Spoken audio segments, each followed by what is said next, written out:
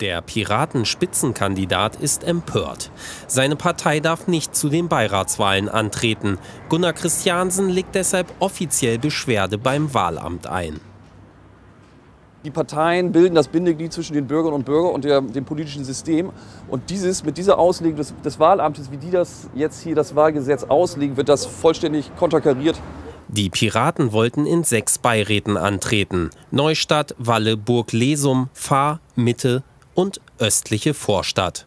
Doch der Wahlbereichsausschuss ließ sie nirgends zu. Grund, an der Wahl der Kandidaten nahmen zu wenige stimmberechtigte Piraten teil. Die Wahlbereichsleiterin ist davon überzeugt, im Einklang mit dem Wahlgesetz zu handeln und erklärt das weitere Vorgehen. Die Beschwerde wird beim Landeswahlleiter eingereicht und das heißt, dass jetzt der Landeswahlausschuss zusammen mit dem Landeswahlleiter über diese Beschwerde entscheiden muss.